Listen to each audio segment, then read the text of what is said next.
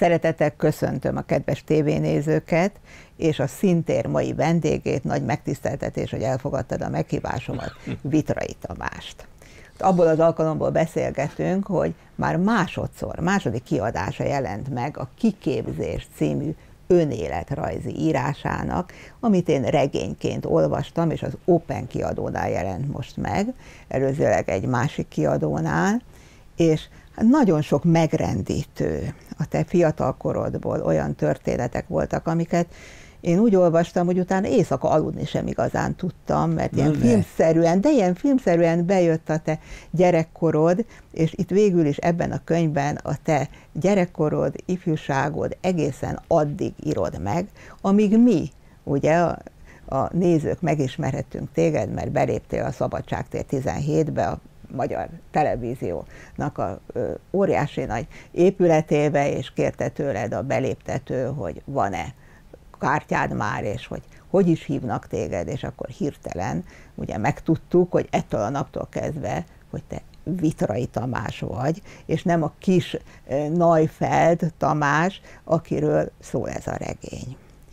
Áruld el nekem, hogy volt neked valami naplód, vagy ennyire fotografikus a memóriád, vagy ennyire visszaemlékszem mindenre, tehát a háborús élmények, a család, a nagyszülők, a, a, a családi körülmények, a Budapest akkori helyzete, a Lipót város, ahol te felnőttél, azok a hangok, azok az illatok, azok a, azok a hangulatok, amik ott vannak, megfogtak, mert ez egy nagyon filmszerű, nagyon olvasmányos regény.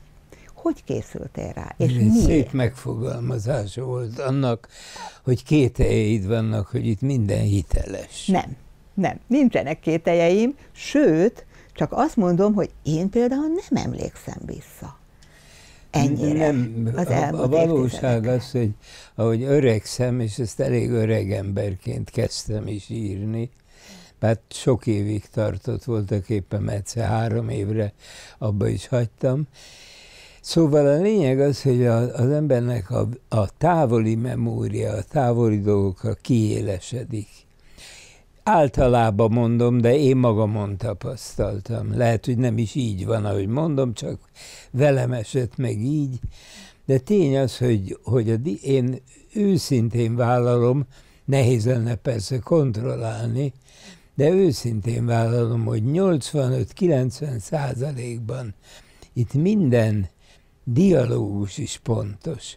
Ugye egy 11 éves, most jó, hogy a kisgyerekkorom az aránylag barátságos volt, de egy 11 éves gyerek olyanokat élt meg, és ezért is távolítottam el magamtól azzal, hogy nem magamat szólongatom bennem, harmadik személyben írom. Igen, tehát ő. Mindez azért van, mert, mert így esett meg a dolog, szóval arról nem beszélve, az én mesterségemben, nem, ma se tudnám megmondani, hogy kialakult-e azért, mert televíziós lettem, vagy fordítva, hogy ez a készség valamelyest közelített a szakmámhoz.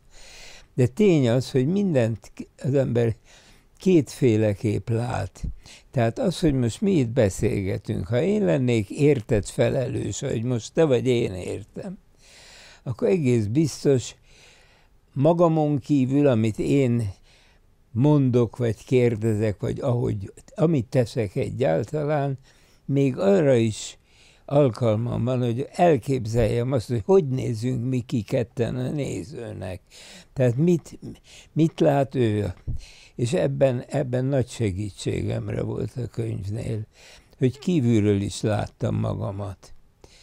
Tehát mindazt, ami körülöttem történik, azért mertem sok helyütt megírni, hogy milyen gyermetek csacskaságokat követel az ember, és hogy kerül el az életveszélyt is úgy, egyszerűen azért, mert nem is érti. Fogalma nincs, hogy mibe van éppen. A szerencse, én úgy olvastam, hogy nagyon sokszor ott állt melletted. A sorszerűség, tehát az, hogy te egy füles kosárban, egy szenes kosárban elrejtettek a házatokban, és így úsztad meg azt, hogy téged elvigyenek, és hogy deportáljanak. Hogy neked volt vérhasad, amit túléltél. Hogy neked mondták azt, hogy leukémiás vagy, és hála jó Istennek nem voltál leukémiás hogy te, hogy te elmentél, elkezdtél diszidálni, de aztán mégiscsak hazajöttél, mert nem sikerült az a diszidálás, tehát hogy itthon maradtál, hogy nem vettek fel a Színművészeti Egyetemre harmadszorra sem, és nem lett belőle színházrendező. Tehát valahogy ez, ez az út így egyik pillanatról, vagy napról napra, vagy hogy a Bródi Sándor utcában összetalálkoztál Bohó tanárúrral, aki bevitt téged a Magyar Rádióba, és ott elkezdődött egy rádiós karriered hogy hogy, hogy hogy jutottál be színházba díszítő munkásnak például, hogy onnan hogy kerültél az idegenforgalmi főiskolára, hogy tanítványod volt, amikor nem volt mit ennetek az anyukával, akkor hirtelen lett egy tanítvány, akit te fel tudták készíteni angolból. Hogy az a tanítvány pont a Honvédelmi Minisztériumban dolgozott, és, és a, ő meg tudott neked munkát adni. Tehát én, én, én úgy érzem, hogy valahogy téged a, a Jóisten a tenyeré hordozott. Meg lehet. Amikor ezeket a történeteket úgy belemélyedtél a saját gyerekkorodba, és így eltartottad, hogy mondod, hogy egy szám harmadik szemében írtad, hogy eltartottad magadtól, akkor erre nem gondoltál, hogy és ha akkor ez nem így történik, akkor én most nem épp itt tartanék, vagy, vagy, vagy hogyha nem egy ilyen családban növök fel, és a nagymama szeretete, a nagypapa, ez a családi viszonyok, amiket, amiket hoztam, hogy, hogy, hogy, hogy, hogy ilyenkor az ember hogy eljátszik egy kicsit, hogy író is vagyok, kint is vagyok, bent is vagyok, de nem szépítettél meg semmit. Nem erre gondoltam amire gondoltam, és amit gondolok mai napig is, az ennél, ennél sokkal több. Hogyha mindez, most túl azon, hogy veszélyes volt-e, vagy, vagy hogy mi kellett ott helyben, ha mindez nem így történik, akkor maximum azzal a családi háttérrel, miközben hát szeretem őket, halóporaikban is szerettem őket, és hát a nagyanyámat egyenesen imádtam. De ha mindez nem így történik, hogy ezek az emberek elpusztulnak, ha mindez nem úgy történik, hogy, hogy szegénységbe élünk, hanem úgy történik, ahogy itt elsorolta több-kevesebb pontossággal a stációkat, akkor, akkor semmi nem vagyok. Legfeljebb a nagyapám könyvkötészetében vagyok egy ügyes segéd, vagy valami ilyesmi mert, mert egyszerűen a családon belül valljuk meg őszintén, nem volt semmiféle olyan magasabb rendű érdeklődés. Az én nagyapám azzal, hogy a Dixinházban megnyitástól kezdve 40 évig a nézőtéren a jegyszedőknek, másrészt a ruhatárosoknak volt a főnöke, az őt megemelte, az már majdnem egy, egy egy intellektuális foglalkozásnak számított a családba. Nagybátyáim is könyvkötők lettek, mint hogy az eredeti mestersége a nagyapámnak is az volt. Szóval ezeket át kellett élni, ezeken át kellett kerülni, túl kellett kerülni, túl kellett élni őket, hogy helyesebben mondjam, ahhoz, hogy léphessek egyet nem volt ez, ezek se voltak az én grádicsok, amiken fölfelé lépdeltem, le, legyen az akár a végzettségem is, tehát az iskolai végzettség dolgában, meg nyelvtudásban, meg ebben, abban, abban, ezek, ezek mind nem lettek volna, mert mindenhez egyel följebb kellett kerülni, hogy a következő lépcsőfok, ha szerencsém van, akkor az meg, meghágható legyen, megléphető legyen. Tehát egy szó, mint száz. Abszolút minden szerencsének köszönhető. De hát ezzel nem én vagyok így. Sokan. Begyünk néhány. Van. Így van, teljesen igazad Milliárdan. De te egy nagyon érdeklődő fiatal ember voltál, mert hogy ugyanúgy boxoltál, fociztál a Pozsonyi úti műjégpályán, tehát a sport az már, már-már ott volt, hogy érdekel és, és művelted, aztán saját magadtól, amellett, hogy a Vix Színházba ugye bejártál, és később dolgoztál is a Néphadsereg Színházban, te nézted az operákat, tehát senki nem mondta, hogy te most menj oda, és, és ülj oda föl a kakasőre, és nézd végig, mert lemaradtál, ugye jól emlékszem a pillangó kisasszonyról, de nézted, és, Vegyük és megszeretted. ezt, engedd meg, hogy szabadba vágja. Vegyük ezt az egyet. Hogyan kerültem egyáltalán ahhoz? Az opera számomra az operáció volt, az orvosi tevékenység. Fogalmam nem volt, hogy mi az. Ám de, az én legjobb iskolai barátomnak az édesanyja korán megözvegyült, és azon a bizonyos vasárnapon az udvarlóját várta, amikor mi ott rostokoltunk a fiával. És ránk szólt, mert jobban szerette volna, a kettesben marad. És azt mondta, hogy miért nem mentek el az operába? Az Andris barátom tudta, hogy mi az opera, én nem. Én ott lapítottam, és akkor azt mondta, hogy elmenjünk az operába, persze, menjünk. Nem igazán tudtam, hogy minek. Pedig akkor már sokat voltam a színházban az öregemnél, és innen már nem kell folytatni, mert annyira tudod, hogy jobban tudod, mint én.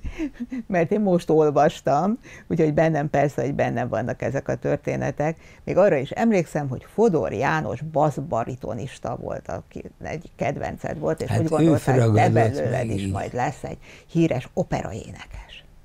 Igen.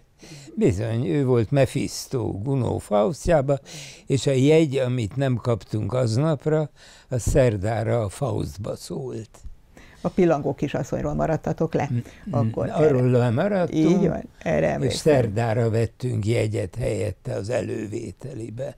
Mondd, és miért szerettél volna színházi rendező lenni utána? Hát azért, mert láttam a színházat rengetegszer. A minap jó kedvembe a, otthon, a, ott volt a két unokám, a nagyok, és elkezdtem nekik énekelni a Fekete Péter című operetből az összes nótát, mert ezt húszszor láttam. Kis ügye fogyott, igen. Fekete igen, Péter. Hát ez csak a fő nóta. Igen, hát én azt. Azt csak tudom. egy szöbetű van a decemberben, decemberben. hold világos éjszakán. Kiről álmodik a lány, igen. Mi, mi nem enged meg, hogy nem emellek ebbe a végtelen magas korosztályba, de azért ezt már te neked Ezt már én is ismerem, igazad van, ismerem, így igaz, így igaz. Na, hát ott te adod tovább az unokáidnak, tehát ezeket mégiscsak megismerik, nem csak az hát, operát, hanem a könyvzenét és a többit is persze. És amikor a Major Tamás azt mondta, hogy most menj és kezdj el dolgozni színházban, mert, mert még várnod kell egy évet, aztán kiderült, hogy még egy évet, még egy évet, és aztán Nem letettél róla. komolyan, szabadult. Hát én azt hiszem, miután 77-től megszakításokkal, bár de a közelmúltig tanítottam ott, tudom, hát ugye rengetegen vannak a jelentkezők, és hát nem lehet mindenkit csak egyszerűen kirúgni, vagy akkor nem lehetett. És azt mondta, hogy maga nagyon értelmes fiatalember, menjen el színházhoz tanulni és jöjjön vissza jövőre. Hát az, hogy ő nem volt már ott akkor kvázi a zsűribe, az teljesen természetes volt neki. Én azt hittem, hogy Major ott fog várni, és aha, emlékszem, de nem. De ugye mondtad a szerencsét, tehát a továbbiakban is, tehát amikor te a nyelvtudásoddal mennyire tudtál mindig érvényesülni. Tehát az, hogy voltak tanítványait, hogy meg, a megélhetéshez is kellett az, hogy te, hát te érdeklődj, hogy te tanulj, hogy te képezd magad, tehát mindegy, hogy a családból mit hoztál, de akkor is te mindig-mindig léptél előre, és képezted magad. A nyelvtudás is úgy volt, ugye, hogy, hogy akkor még nem volt kötelező az orosz. Az utolsó gimnáziumi évfolyamban jártam, amikor még idegen nyelvnek hívták ezt a tantárgyat, és nekünk, én az angolosok, volt németes. Oroszos nem volt. És a következő évben kötelező lett az orosz, és akkor abból mint érettségi tárgy kellett vizsgázni másoknak. Én azonban nem tudok öt szónál se többet oroszul, mert én angolból érettségiztem. Abszolút nem állítom, hogy olyan magas fokon tudtam volna, Tehát iskolai tanítás, gimnáziumi, mégis valami bepillantás. És aztán ugye sors úgy hozta, hogy folyton kirugdostak évről évre a színművészeti felvételiről. És hát nem akartam három évre bevonulni katonának. És akkor jelentkeztem az idegen nyelvek főiskolájára, angol sajtó szakra. Itt ismerted meg első feleségedet, igen, tehát arról Igen. is nagyon szépen írsz, hogy olvassák el, úgyhogy mindent nem idézünk fel a könyvből, csak arra emlékszem, hogy hosszú szőkehajú, nagyon szép baba volt. Igen, tényleg megmutatnám ellen róla fényképen, így volt, nagyon szép kislány volt. És úgy, úgy kerültem egyáltalán közelébe, hogy egy vadidegen fiú jött szembe a folyosón az első tanítási napon, és azt mondta, te hova mész? Van már angol sajtó. Azt mondja, figyelj oda, az első sorban ül egy gyönyörű kis csaj. A mellette lévő hely foglalt, ne engedj oda senkit leülni. Na, ő volt a terike. és ő lett a te feleséged, és két gyönyörű fiadnak a, az édesanyja. Na de hát ez is azt mondjuk, hogy a szerencsének egy bizonyos válfaja. Hát tehát ne, sorozatos. Ez is ugyanaz, pontosan. Aztán, hogy ebből a főiskolából egyetem lett és aztán te ugye az hát angol szakot végezte, így. nem? A egyetem már volt, uh-huh. csak be, be, integrálódott. Be, bevonták, Igen. mert megszűnt az idegen főiskolája. És így aztán ott még egy évet lehetett különbözetiskedni. De annak már, Szóval mi jobban tudtunk angolul, mint a, akik a Ötös Lórán Tudomány Egyetemen végeztek, mert nekünk a másodévtől minden óránk angolul ment. Úgyhogy heti 30, nem is tudom, mondjuk a hattal szorzom, közel 36 óra. Hát nem, mert volt honvédelmi, meg torna, meg, meg ilyen hülyeségek is voltak. De azért 25-30 óra volt egy héten és még mindig nem tudtam angolul. Nem azért, mert nehéz a fejem, hanem ilyen egy nyelv. És az a bizonyos rádiós állás, amiben a, a korábbi tanárom a tanárod, bevitt, igen. Az napi tíz órát kellett angolul beszélni ebben a rovatban, nem azért, mert adás volt, hanem egymás köz ketten voltunk magyarok. De volt skót, volt kanadai, volt ausztrál, Görög szekció is volt, ugye? Nem a, nem a nyelveket volt? mondom. Ezt, ja, értem, értem, a, a kollégák, értem, értem, Igen, a rádióban. Mind igen. eredetileg az anyanyelvének az angol tekintette, mm-hmm. joggal. Mm-hmm. Tehát nem lehetett hozzájuk, hiába beszéltem volna magyarul. Amit magyarul tudtak, az csak inkább mulatságos volt egyszer meg kellett tanulni. És ezeket a, az, hogy dialektusok voltak, az még jót is tett. Persze. Te mondd, és a sport, hogy említettük, hogy boxoltál és hogy fociztál. Minden Tehát minden Jártál a Lukácsba, ugye úsztál, tehát Igen. vigyáztál, fordítottál sok időt és, és, és energiát a kondíciódra is hogy az, hogy te Ez később sportriporter lettél, tehát ugyanúgy az opera egy óriási szenvedés, egy szerelem, ugyanilyen szerelem volt a sport is. Igen, igen, és ezek a, a, a te megfogalmazásodban heroikusnak tűnnek, hogy én így meg úgy, nem volt ebben tudatosság. Ugye az apám szegény, ez már az édes vérszerinti apám, aki hát vasárnaponként jöhetett értem, és nem is igen jött fel hozzánk nagyszüleimhez, ahol éltem, hanem fölfütyült értem, és az a délután az övé volt. És hát kivitt a meccsre. A családom belül én nem emlékszem, hogy addigi együttélésünk során ez a szó, hogy sport, akár elhangzott volna.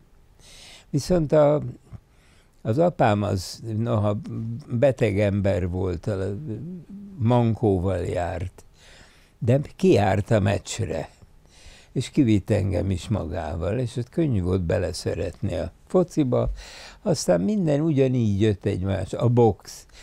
Hát a box az úgy esett meg, hogy az Aréna úti iskolában volt a egyik legnépszerűbb boxcsapatnak a, a, ez volt a edzési helye, és az Adler Zsiga neve mindenkinek ismert, aki sporton kívül is, és ő volt az edző, és ő bármilyen tömegbe jöttek a srácok, ő fogadta őket, és az volt a szokása, így idő után, mikor már az alapmozgásokat ezek a kölykök megtanulták, akkor összehozta őket egy már egy már boxoló, hasonló méretű, de mégis már boxolni tudó versenyzőjével.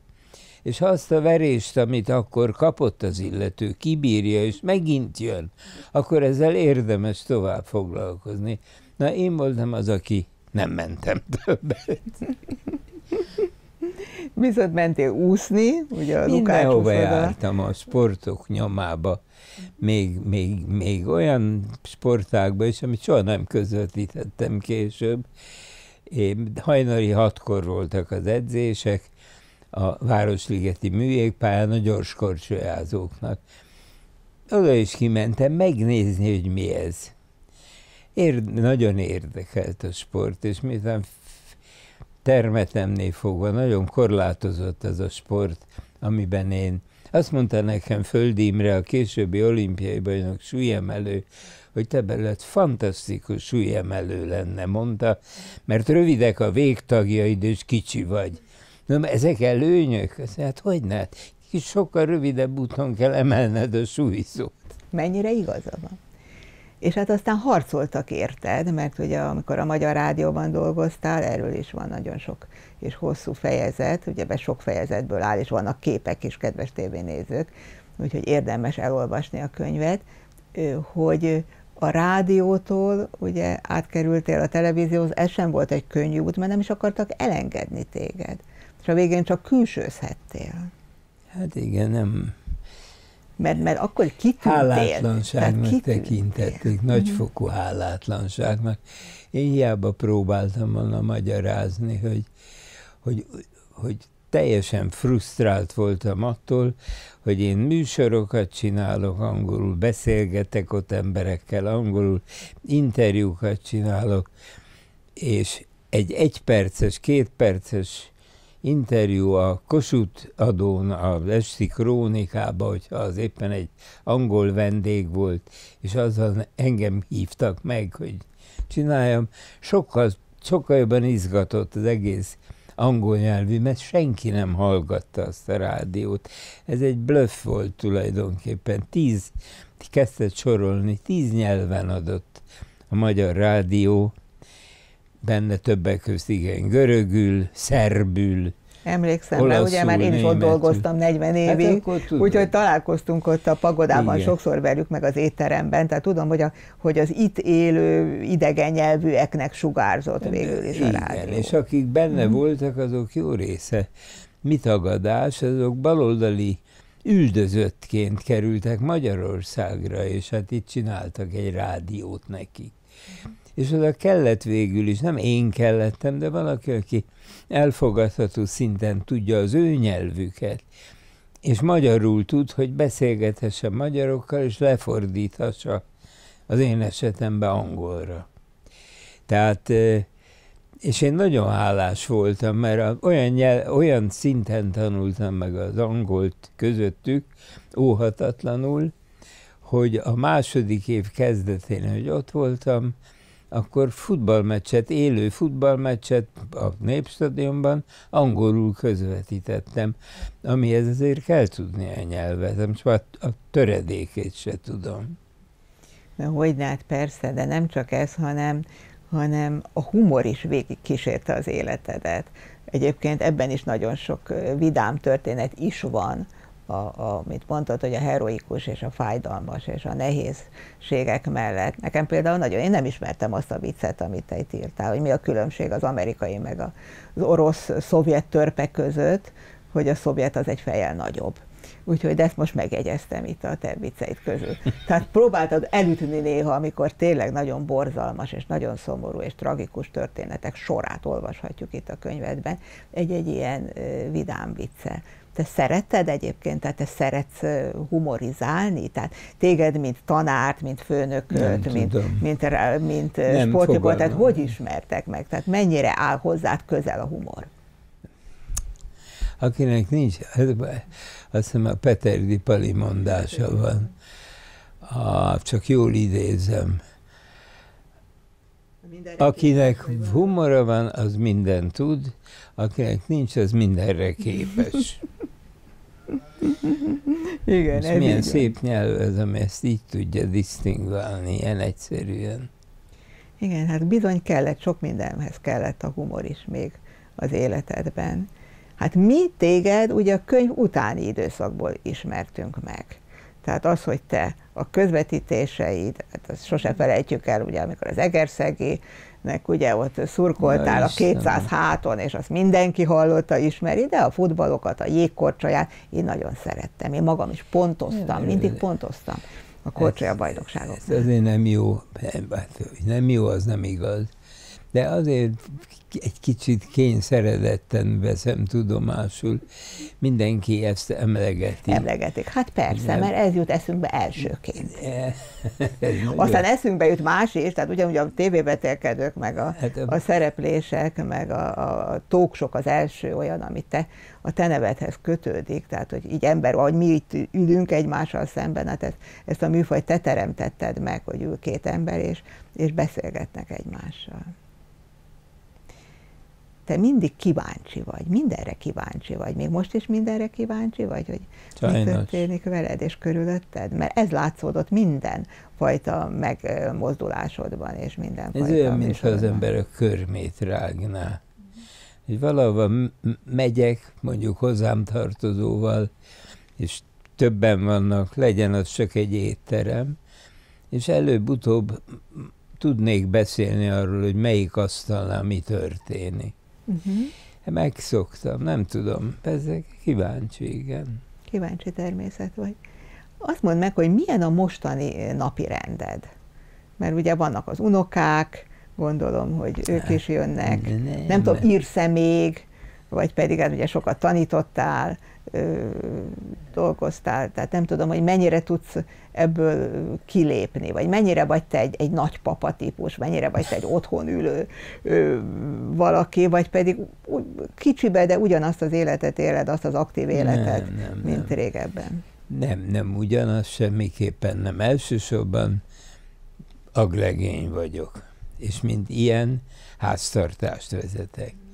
Tehát ez már meg. Ilyen se volt az elmúlt évtizedekben sokáig. Rövid ideig volt. Egyszer. Nagyon rövid ideig, azért három házasság mellett, meg de, hogy már de, korán összeházasodhatok fiatalon. És azért ezt, ezt meg kell, vissza kell zökkenni ebbe, ugye, hogy de nagyon sok mindent tudok abból az időből, amikor ketten voltunk a nagyanyámmal, és ő már nagyon nehezen mozgott, nagyon magas vérnyomása volt, betegeskedett, és akkor óhatatlan át kellett venni olyan funkciókat is, pedig akkor már az elején tévés is voltam egyúttal, de ezek nem terhek. Nincs napi rendem. Napi rendem annyi, most legújabban, ezt kétségtelen, és ez rend, hogy körülbelül 50-55 percet foglalkozom magammal felkelés után. Ez különböző testmozgást jelent, az egyik fele az az ilyen inkább csak nyújtó gyakorlatok, a másik fele az erősítő gyakorlatok, és a harmadik az, ami új elem benne, hogy egy ilyen gyalogló gépen gyalogolok, mm. amit kaptam ajándékba, és, és azt nagyon élvezem. Nézed a televíziót? Igen, hát most már a televíziót, azt mondod televízió, az nem azt jelenti, Igen, rengeteg 20 éve, van, hogy egy, persze, egy, egy vagy kettőt volt. nézhettem. Hát persze, vége, vége Sportot, mindent, sportot.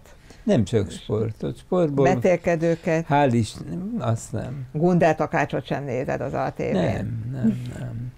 Nem, nem azért, mert bármi kifogásom lenne, vagy nem tudom mi. Nem, a, a, a, a, a, itt nálunk a, a vetélkedő, nem nálunk, ez nem igaz, a, a hasonló országokban is, az, ahol, ahol a megélhetésnek a megszerzése több harcot igényel az egyes embertől, ahol a jólét mást jelent, mint, mint gazdag országban, nagy országokban.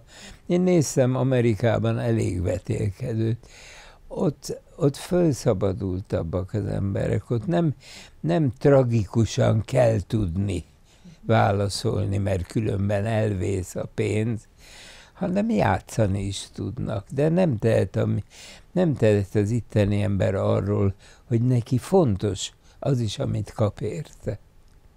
És, és ezért tulajdonképpen a, a műsorvezetőnek a dolga, hogy le, legyen a dolognak valami derűje, ha lehet.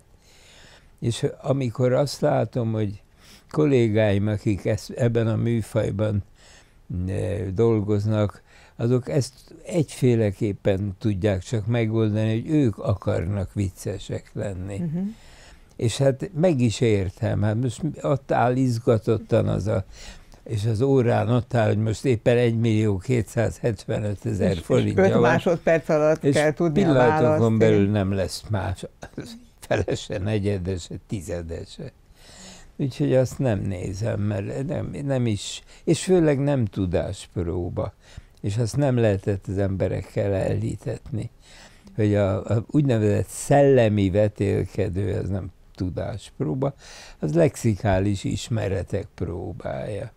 Akkor mit nézel? Filmeket, operai előadásokat, mert azokat Vannak is lehet már. Kedvenc sorozataim, Na. amelyek nagyon rosszak. Na, mik ezek? a kisvárosi gyilkosságokat. Mm. Ezt minden este megnézem, tökéletesen egy kaptafára készül, és nem veszik észre az emberek, nem azért, mert én zseniális vagyok, de hamar kisejlett belőle, hogy egy a fő detektív, aki ott a mindennek a végén megtalálja a tettest, az ostoba, mert ahhoz két-három embernek meg kell halni gyilkosság áldozataként, hogy ő megtalálja. Mert különben, ha rögtön megtalálnák, akkor 10 perces a darab.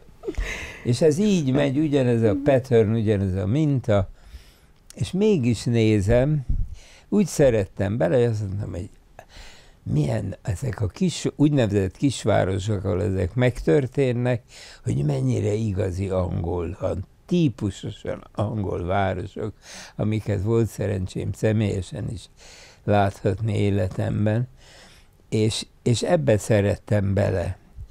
És hogy ért a csapás, hogy nem tudom, talán már 80-at láttam, amikor kiderült, hogy ez egy ausztrál sorozat. De nézem. De, né- de én is a kalamból szoktam elaludni egyébként. 500-szor nézem, de bekapcsolom este, és, és az úgy segít abban, hogy Igen, kikapcsolja, kikapcsolja az ember. Ez a dolga. Ez teljesen így van. Drága Tamás, drága tanár úr, drága művész úr, itt vannak különböző fogalmak. Ha megtennéd, hogy ezekből ötöt húznál, Igen. és ami eszedbe jut, azt elmondod róluk. Júj, júj. Lehet egyenként, igen. Álmatlanság. Erről sok minden eszembe jut, mert én bizony nagyon hosszú ideje enyhe ugyan, de altatóval alszom. És ezt a televíziózásnak köszönhetem, ugye az állandó stressz, főleg az első évek, ugye egy műfaj ott születik meg közben minden napomon, és én magam benne mint az egyik tojás a kosárban. Úgyhogy ez az álmatlanság abban áll, hogy, hogy akkor vagyok álmos, amikor még senki se fekszik le, és miért leteszem a fejem, olyan éber vagyok, mintha örökké fönn tudnék maradni. Valami valeriánát kell, Nem, könnyű. ez van ilyen, ez szelíd elaltatónak uh-huh. hívom Nincs vele bajom, már évek óta szedem. Szerintem, ha csinálnának ilyet minden egyéb tartalom nélkül, attól is elaludnék. De hát ez placebo is placebo is kell, így van. Akkor nézzük a következőt. Irigység. Hát, irigy vagyok. Hmm. Igen. Mire? Igen, igen. Sok-sok, még a saját mesterségemben is nagyon tudtam irigyelni, ha valakinek adatot olyan lehetőség, mondjuk egy interjú, amiről rögtön azt mondtam, hogy ezt én jobban megcsinálnám. A sárga epe, vagy sárga az epe. Azt mondják. El. Igen. Szóval, de hát szerintem De téged is sokat irigyelhettek, nem? Tessék? Téged is érhetett sok hát téged is irigyeltek, gondolom, sokan. Igen, az irigység, a, ez a fajta irigység, ez nagyon undos, undok tud lenni. Amikor nem úgy, nem tőlem elszeretnének valamit, vagy elvennének valamit, hanem irítségükben mocskosan viselkednek. Aljasokat írnak, hazugságot önfeledten. Az elég, elég súlyos. Nézzük is a következőt. De hát, ha jobb. Ja. Önzetlenség. Sajnos rokonok, már itt megfordítva bár, nem fogok semmiféle maradandót tudni mondani.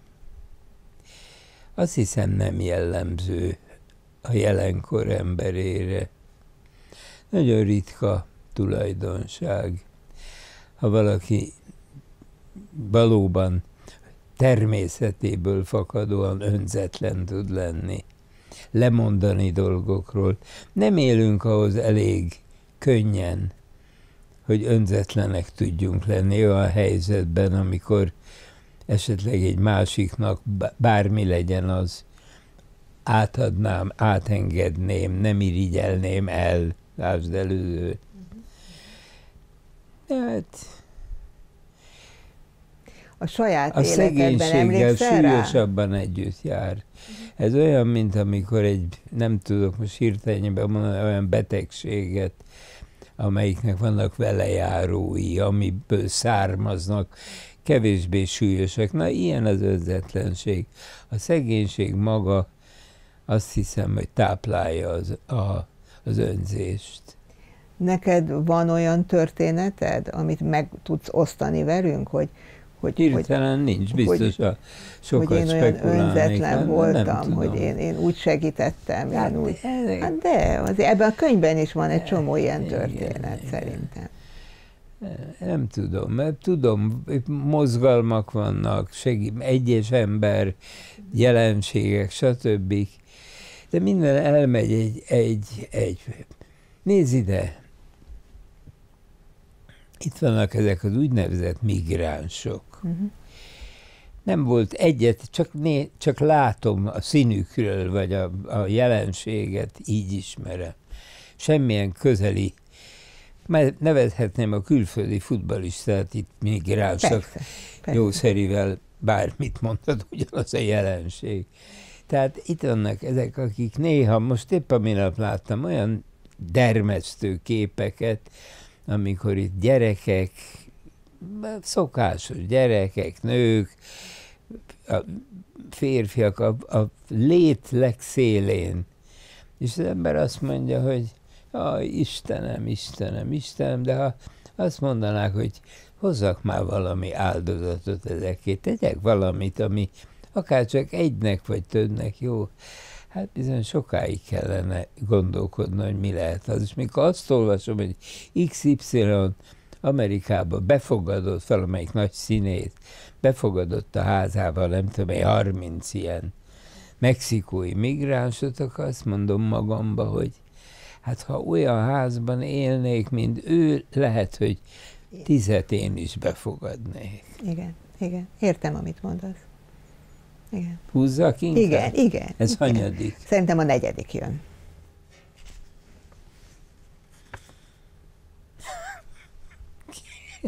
Mit húztál? Cseréljek? Nem, mit húztál? Féltékenység. Nem, hát ne cserélj, ezt húztad. Miket? Ezt biztos, mint te írtad. Nem, majd megnézheted adás után. Itt van mindenféle. Szóval csak én ilyen ügyes kézzel húzok. Hát Ugye mondtad, létező... hogy irigy voltál, de mennyire vagy féltékeny? Hát én az első szerelmem az, az, az teljes egészében féltékenységnek esett áldozatul, de hát gyerek voltam még, diák, nagyon diák, és úgy nézett ki, hogy én olyan szerelmes lettem az egyik lányba, egy ilyen színjátszó csoportba, az Irén, meg a Hilda, akikről Á, nézd oda, igen, hogy igen. ennyire emlékszel? Hát persze. Micsoda memória, atya világ. Hát sajnos szóval... nincs olyan, mint neked. Hm? Akkor a memóriám nincs, mint neked. Ja, de én már olyan hüle vagyok, hogy csuda. Na, szóval féltékenység, nem. Ja, már, mára már, mit, mi, mire legyek féltékeny? De hát nézzünk vissza az időbe. Nagy szégyen, és kiszolgáltatom magam, azt mondom, hogy inkább rám voltak féltékenyek, mint sem én lettem volna. És nagyon rossz dolog. Nem csak annak, akire kárt tesz az emberben. És majdnem, majdnem olyan része az embernek, mint a, a végtagjai, mindenki. Nem igaz. Aki nem féltékeny, az abba ott nincs szeretet. Uh-huh. Tehát valami, valami kell, hogy összetartozás legyen, ami ezt kiváltja. Gyerünk gyorsan tovább. Ötödik. Hitetlenség. Ne, ki meg vagyok átkozva. Na jó. Azt mondja, hogy hitetlenség. Hát meg is fordíthatjuk, hogy hit. Nem, igen, hitetlenség. csak arra tudom, csak megfordítani tudom. Tulajdonképpen egész életemben bajom volt. Ugye ez a könyv egy kicsit coming out, neked tőlem senki nem kérdezte, hogy mi a származásom, amikor én egyáltalán elkezdtem ezt a pályát 50 nem tudom, hétbe a rádióban. És aztán még sokáig nem kellett ezzel foglalkoznom. És egyszer csak ugye én nem akarom azt mondani, hogy ennek hagyományai is vannak, de vannak.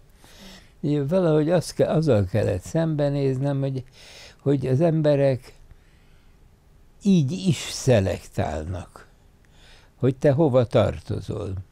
Mondjuk például zsidó vagy, hogy egyszerűsítsük a helyzetet.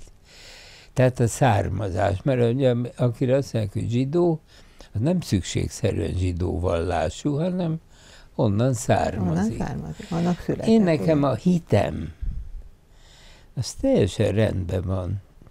Egyrészt, egyrészt nem vagyok materialista, sose voltam.